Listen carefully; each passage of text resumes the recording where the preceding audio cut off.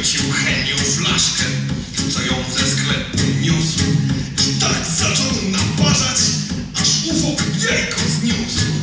Kwadransik nie płynął, aż Henka napadł szał. Bo ufok zbiło flaszkę, a Heniu jedno miał